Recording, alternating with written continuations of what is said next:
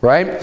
And, and God blessed them. But he says in verse 8, But because the Lord loved you, and because he would keep the oath which he had sworn unto your fathers, hath the Lord brought you out with a mighty hand and redeemed you out of the house of bondmen from the hand of Pharaoh, king of Egypt. He's bringing up the fact, hey, God made a promise all those you know, hundreds of years ago unto Abraham, Isaac, and Jacob. He said, God keeps his promises, which is why he brought you forth out of Egypt.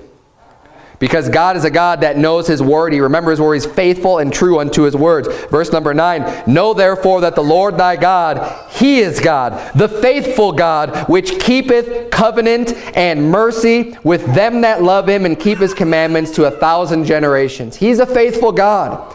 He's true to what he says. He keeps his covenant. When God makes a promise or a covenant with you, God is sure to keep that promise. He goes on here in verse 10, and repayeth them that hate him to their face to destroy them. He will not be slack to him that hateth him. He will repay him to his face. Thou shalt therefore keep the commandments and the statutes and the judgments which I command thee this day to do them.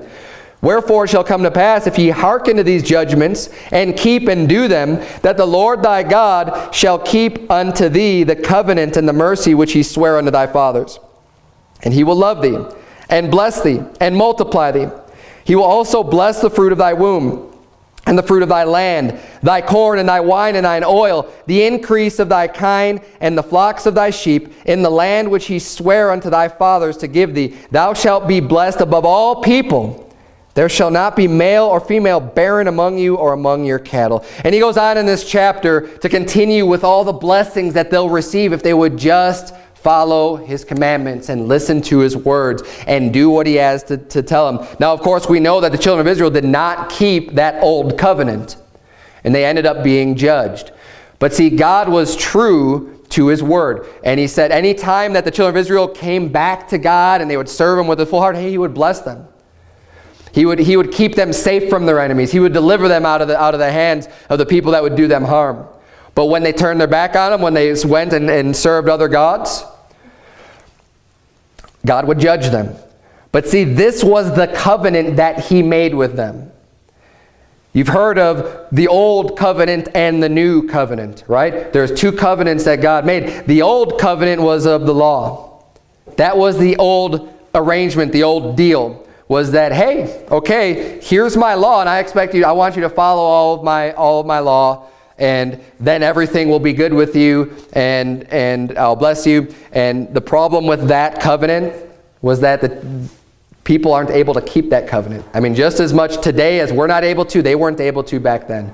We are not able to keep all of God's law. We all fall short, which is why we need grace. And the new covenant was ushered in with Jesus Christ and his death and his burial and his resurrection. The gospel of Jesus Christ brought in that new covenant, that new agreement of of faith. Now that was what's carried out. Of course, people have always been saved by grace through faith in the Bible, all throughout the Bible. Romans chapter 4, if you're, if you're not sure about that, read Romans chapter 4. The Bible talks about Abraham and it talks about David believing God and it was counted unto them for righteousness. That, that, that is where they believed on God and, and that's how they got saved. That's how they receive eternal life just as much as we do today because people are the same. They weren't able to keep the law any better back then than we are today. I mean, think about how you match up with God's law. And, and how perfect do you think you are when it comes to that? Well, they were the same way. And we have evidence of it in the Bible. No one was able to keep that law, that covenant. But God says, and this is true, hey, if there is somebody that's able to keep all the commandments and all the covenant of God, guess what?